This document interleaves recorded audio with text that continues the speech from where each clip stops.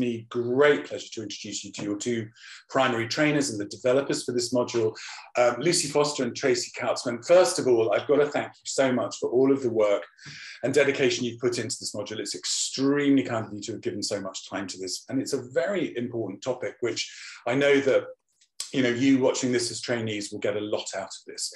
Um, we've had a lot of discussions and it's been fascinating. I mean, actually, the first discussion we had about this was my first meeting with anyone post COVID. I remember back in London. So from that meeting, we, um, you very coherently came up with a structure for this module. And I think just in this introduction, obviously, I want to introduce you to our trainees. So first of all, let me do that. Tracy, would you like to tell me a bit about who you are and what you do?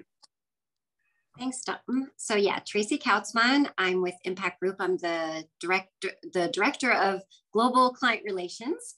And um, just for those of you who don't know, Impact Group is a career development company. And in the uh, industry, in the relocation industry, we're best known for partner support and cross-cultural coaching. Fantastic. Thank you so much, Tracy. That's brilliant. And Lucy, lovely to see you. Lovely to see you too. Nice to be here. Um, yes, I'm Lucy Foster. I also work with Tracy at Impact Group. Um, I am a global account manager. Um, and I'm also still a little bit of a part-time coach as well. I actually started with Impact Group 10 years ago as um, the coach, career and transition coach for spouses moving into Dubai. And then I moved back to the UK and I've moved into the account management role, but I still do keep a little bit of the, the coaching going on as well. So it's nice. So I see that full 360 um, of the, the assigning experience and what we're going to talk about today and how really it manifests itself in practice as well. Thank you so much for, for saying that. And again, you know, from the point of view of the MIM program, we, we put we placed a great emphasis on that one-to-one coaching piece that's so important. And in a way, I guess my next question is you're going to expand on that. So why duty of care. Why is this a topic that you feel is so vital to the people on the receiving end of mobility services? So I think um, duty of care and employee well-being, assignee well-being are things that we've been talking about in the mobility space um, for a couple of years. It's been kind of becoming more prevalent, even pre-COVID. You know, there was a lot about um, mental health, assigning mental health and well-being. Um, but for us at Impact Group, I mean, we've been doing this since inception because really all of our piece, um, from the spouse partner support, um, single support, and cultural training, it's all part of that additional duty of care, um, which is supplementary to, I guess, the traditional idea of duty of care. So um, I think when we were first talking about this, it, it was just something that we were thinking, well, we talk about this all the time. This is on our wheelhouse, this is in our space.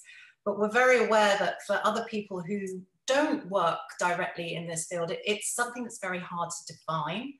Um, and I think as well, it's a concept that people think, yes, they know it's important, but they don't necessarily know why it's important.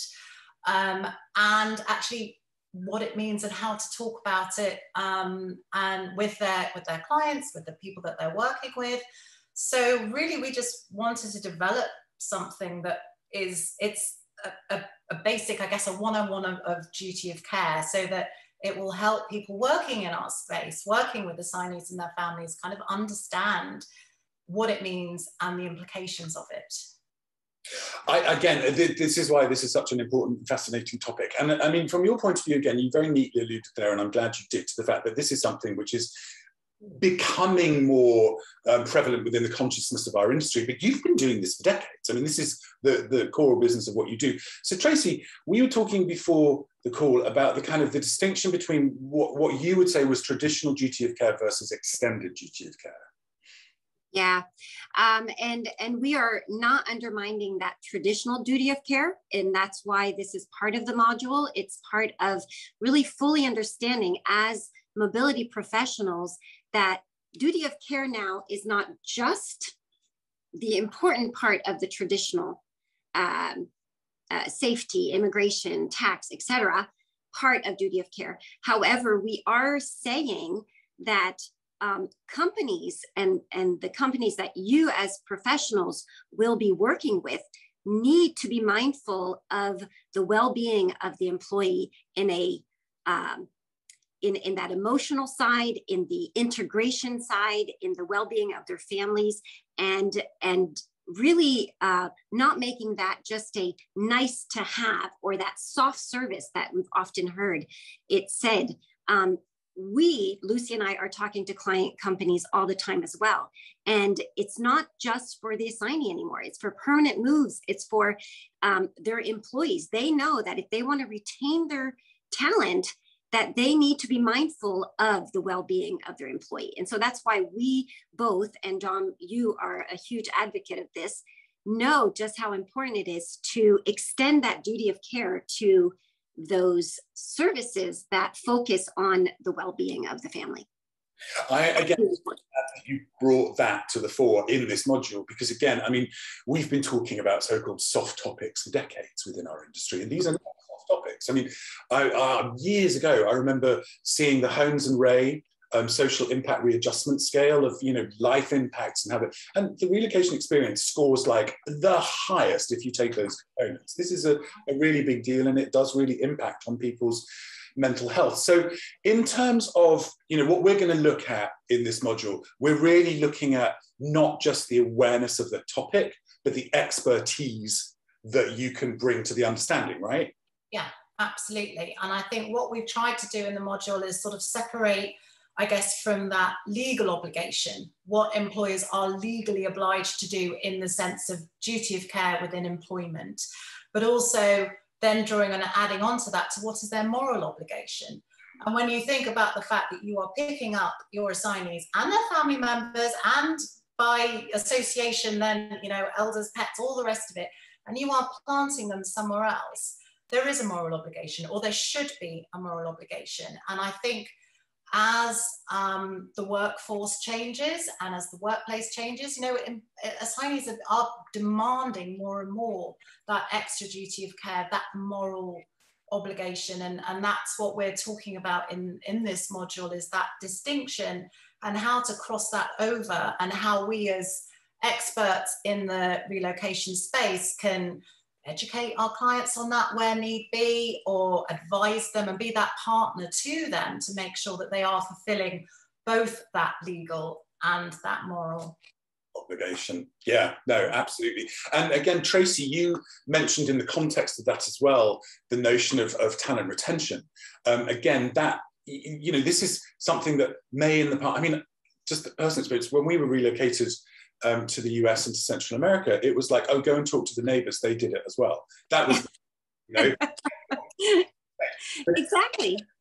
I, I, think, I mean, it's true. We talk about talent retention as if it's it's it's a buzzword right now. However, it's such a reality, and I know even in our industry. I mean, we just finished EuRA, um, just trying to find staff right now and trying to retain it is not easy. And so that that employee well-being is is part of that. And and the the clients that you global mobilities that are going to be taking this module um, they are looking for solutions to make sure that they have they have talent they have managers directors and families that will stay with them and not go to the competition. So it is it, it, it is i mean what we are hoping what lucy and i and dom what we're all hoping for really is that you that are doing this module really come out with some subject matter expertise and wording and knowledge to make sure that you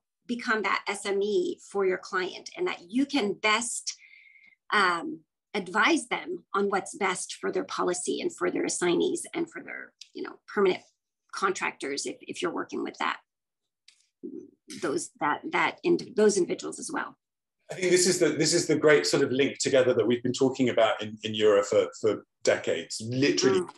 between you know being a supplier and being a partner, being able to assist and advise on policy because you're aware of where you know you can be a, a, true policy partner to to the corporations and to the people that you're moving on behalf of the actual individuals.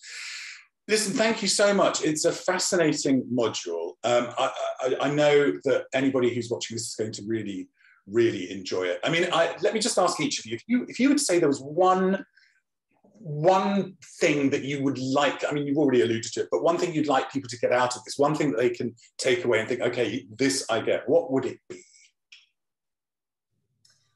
Oh, I'll go first. Um, I think for me, it's getting away from that traditional idea of soft services being soft services. They're not soft services. They're, they're really, they're business imperatives. They're business critical.